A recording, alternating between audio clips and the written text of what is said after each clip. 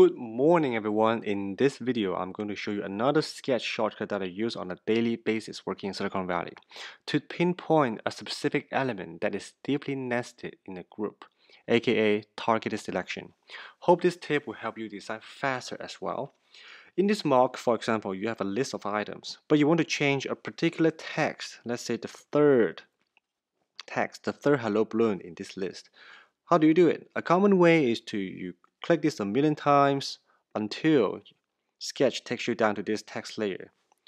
But this is too slow. There's another way, which is Command and left click.